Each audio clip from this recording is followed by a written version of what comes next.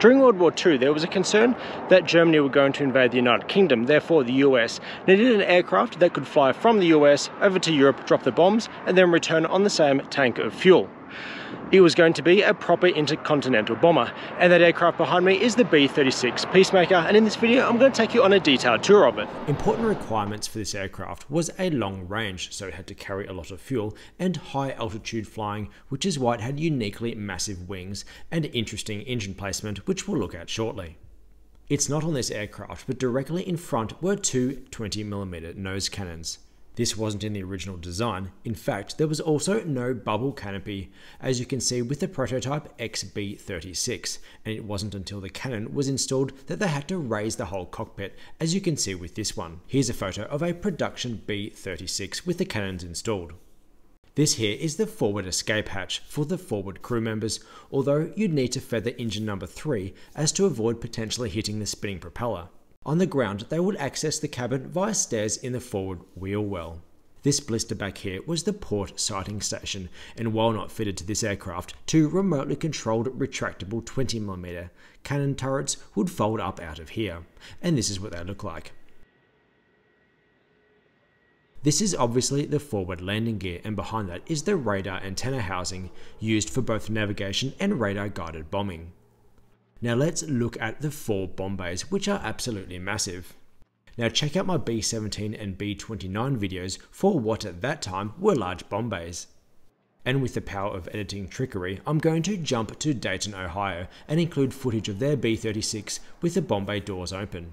And speaking about the bomb bay, they tested the idea of actually storing a parasite fighter aircraft in there, and its role would be to protect the B 36 from enemy interceptors. And here is that aircraft, the McDonnell XF 85 Goblin, on display in Dayton, although its performance was inferior to any interceptor, and the docking process was difficult and dangerous, so they cancelled the whole program. Immediately on the left is the pressurized crew tunnel, which was so long that they had a trolley installed and pulled themselves along a rope.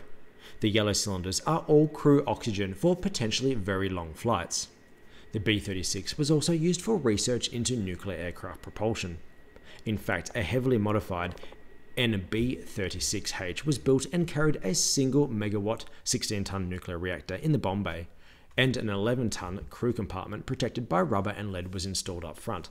Moving forward is the extra fuel tank in the middle. The nuclear reactor was not used to propel the aircraft, and the research was mostly looking at potential harm to the crew and environment from the radiation. But Air Force priorities were elsewhere and the program was cancelled. And then we eventually reach another bomb cradle.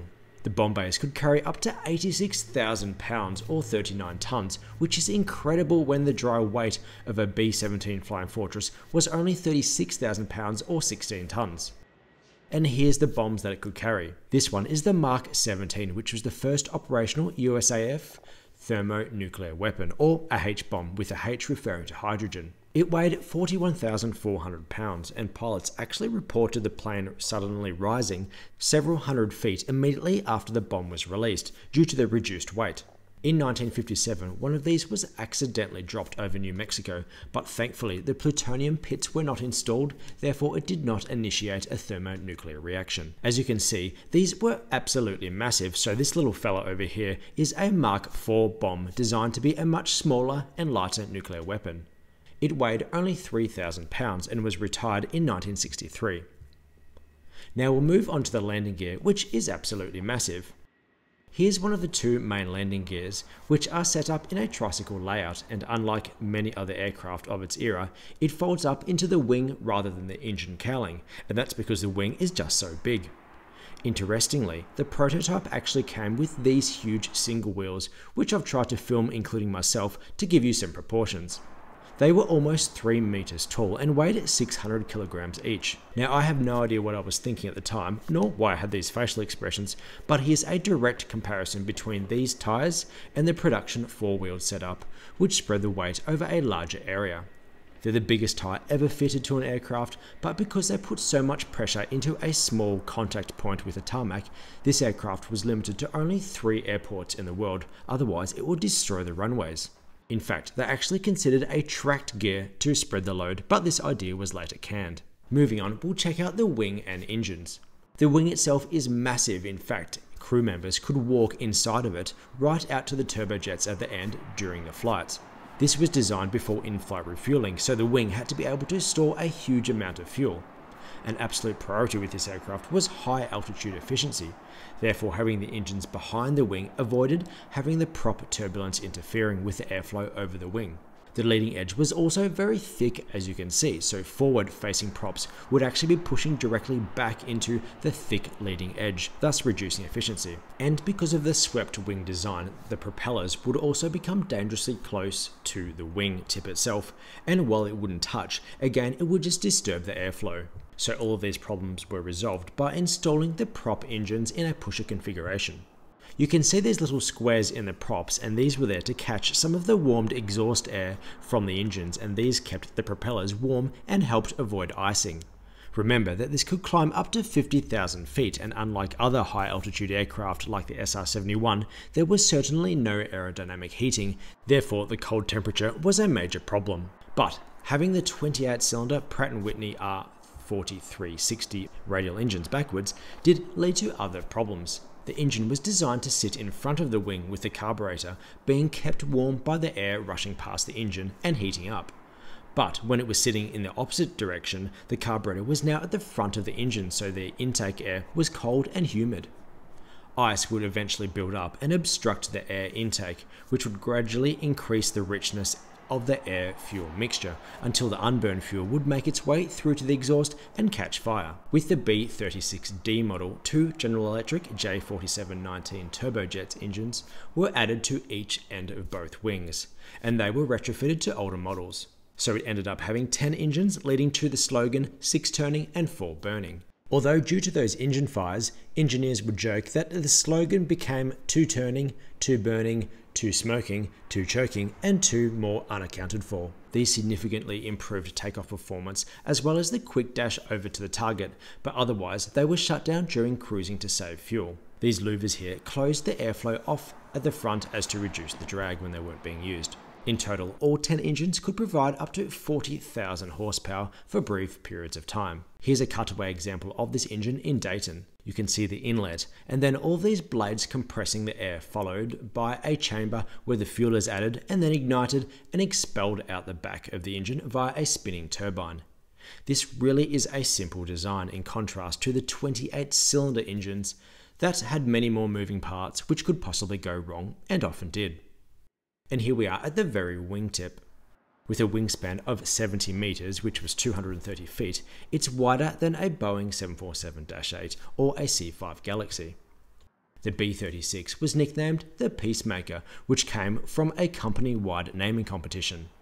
The idea being that it made peace by being a deterrent to enemy military aggression but there were objections from religious groups who felt that they owned that term, so officially it just became the B-36. On top and around this position were two more retractable remote control 20mm cannons. This circular hatch is the ventral entry hatch for the rear pressurized compartment, and this here would have been the transparent bubble used as a sighting station.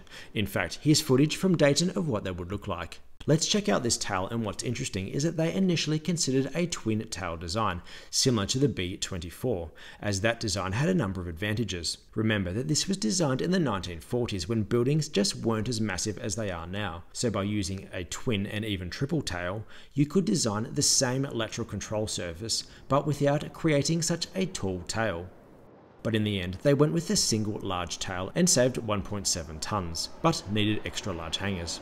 Right here at the back are more cannons which were remotely controlled. Above that is the radome, and inside those were two radars that could detect enemy aircraft and guide the firing. Now everything in this aircraft is massive. In fact, the control surfaces, such as the rudder and elevators, etc., had the same combined surface area as the B-24 Liberator's entire wings, but they did not have hydraulic support to move them. In fact, they worked by the pilot only moving smaller servo tabs, which were like trim tabs, in the opposite direction, and then the air would move the whole control surface in the direction that they wanted. It's really quite an ingenious design as it avoided the need for heavy hydraulic systems. In front of you now would be the aft crew compartment, which includes bunk beds, a galley, and access to the tail turret, but it was connected to the forward compartment by the tunnel you saw from inside the bomb bays. And if it didn't have nukes or goblins in the bomb bay, it also carried ECM equipment, which stands for electronic countermeasures. These are probably some of the best defenses these bombers had, and some of the equipment remains classified to this day, but essentially it's designed to confuse enemy radars and missiles. It can detect enemy radar waves and return a flood of waves to overwhelm their receivers, or it can actually even send back incorrect information so the aircraft appears many miles away from where it actually is. It had a crew of 15 consisting of a pilot, co pilot, two navigators, a bombardier flight engineer, radio operator, radar operator, two ECM operators, and five gunners. This specific aircraft was a B 36J and built as a featherweight, as the role was now primarily reconnaissance. Cameras were installed in the bomb bay and in other locations, and these flew over Soviet territory taking photos. To improve performance, all of the guns were removed except for the tail. The blisters were replaced with flat windows, and crew numbers were reduced.